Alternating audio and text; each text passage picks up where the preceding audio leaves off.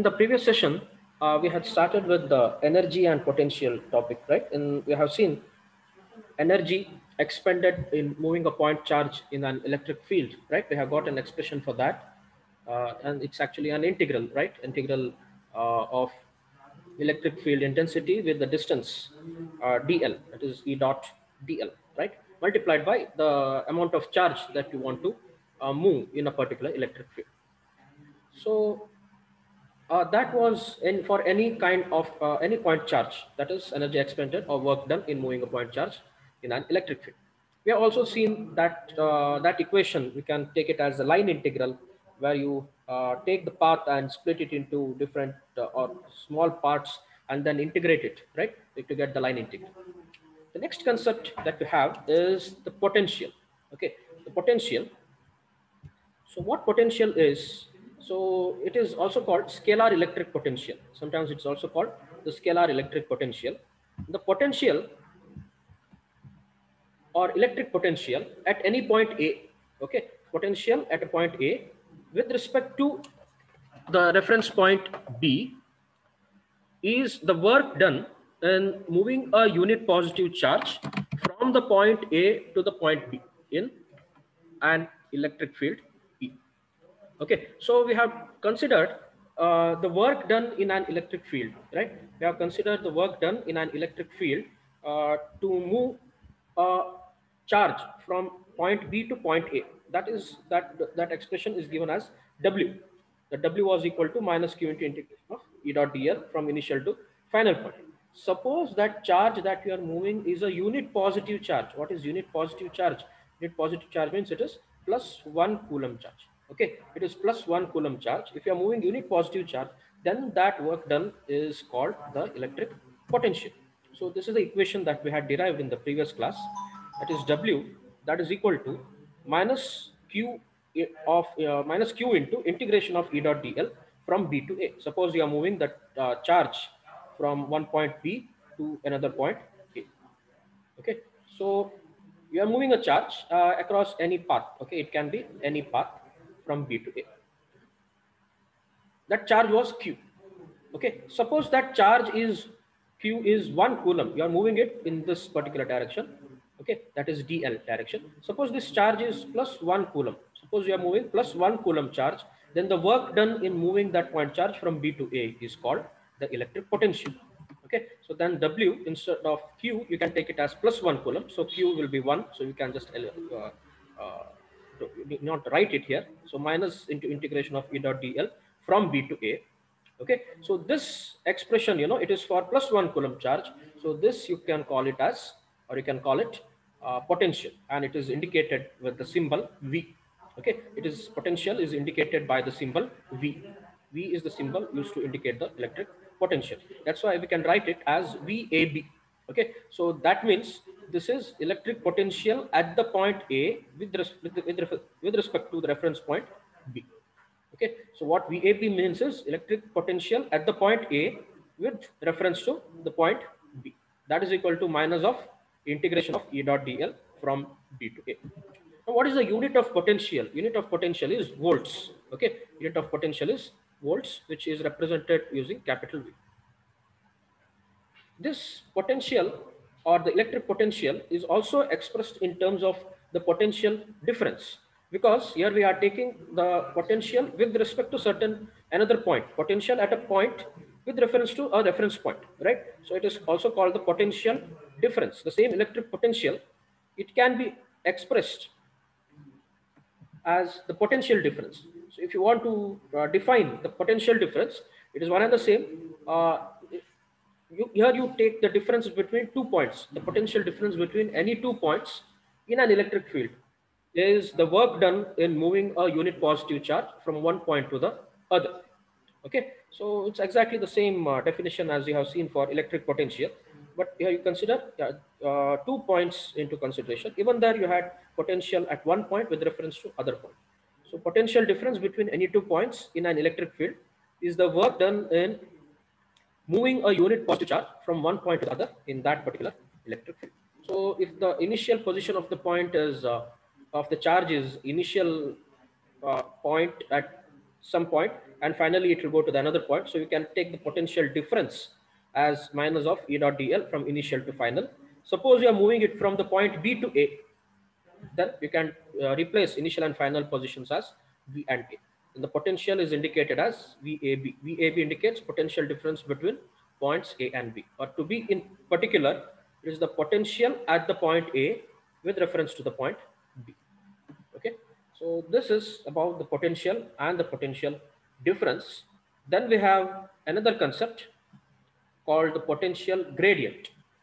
The potential gradient, this is also a very important concept.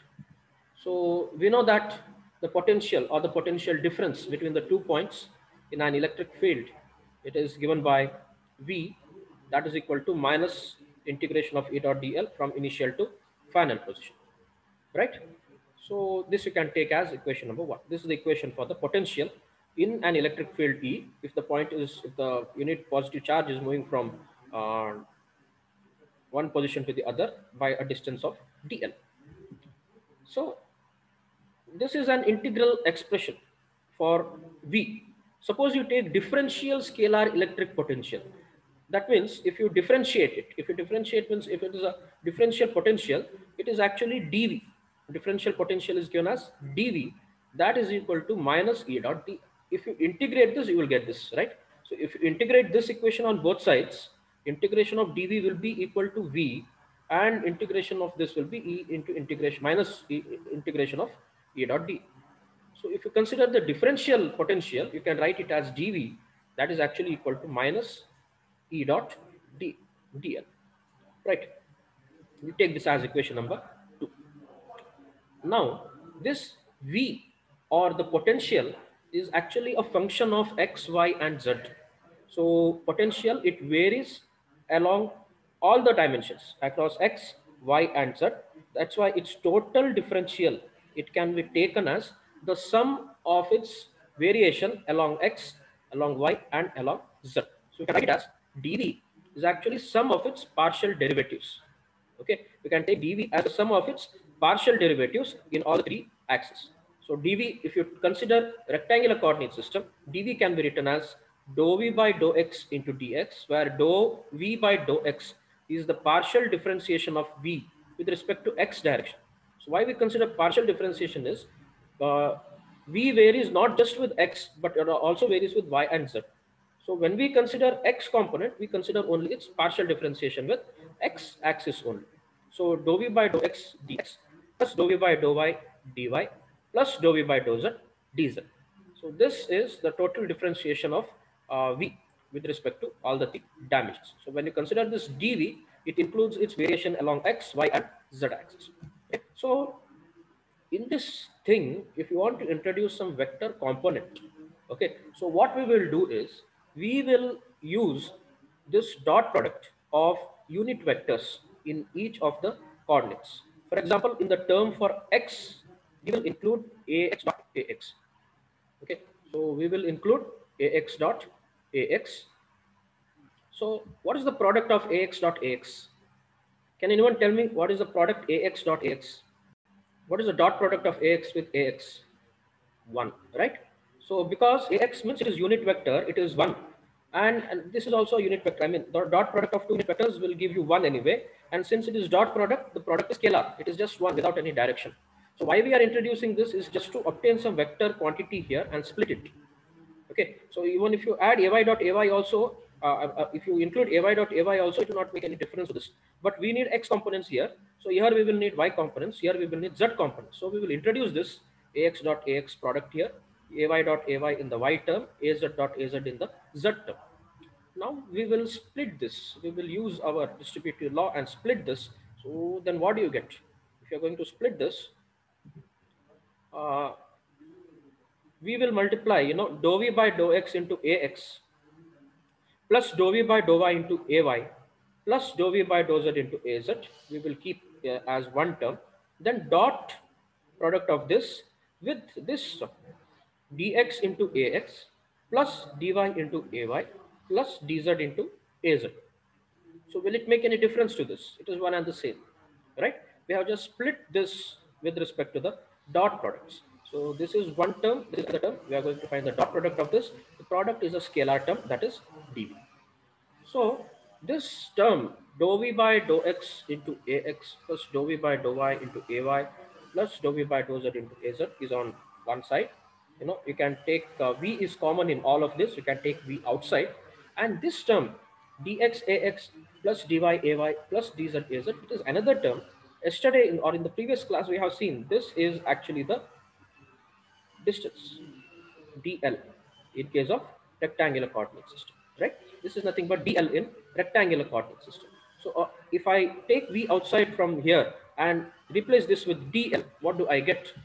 Next equation, that is dou by, so v is common from the previous case. If you take v outside, what we will be left with is just dou by dou x of ax plus dou by dou y of ay plus dou by dou z of az into v dot dx ax plus dy ay plus dz az is nothing but dl.